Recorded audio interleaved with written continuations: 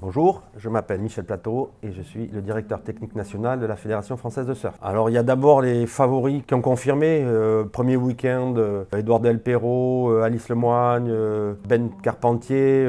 ils étaient là, ils ont offert un super spectacle. Une petite surprise sur le surf senior fille avec une revenante Juliette Brice qu'on avait perdu de vue tout simplement à cause des études. Alors le surf en compétition restera éternellement un, sport à évaluation, à jugement. On fait en sorte que ce jugement soit le plus objectif et le plus impartial possible. Bon après évidemment, ben, il y a des fois des sensibilités de panel, de juges, etc. qui vont plutôt vers euh, l'un ou l'autre des compétiteurs. Ça c'est humain je dirais. L'essentiel c'est que ce soit le, meilleur qui gagne et je pense que ça a été le cas cette année encore. Je dirais que les championnats de France aujourd'hui, euh, ils donnent satisfaction parce que c'est encore une fois c'est la, la, grande fête de toute la communauté française.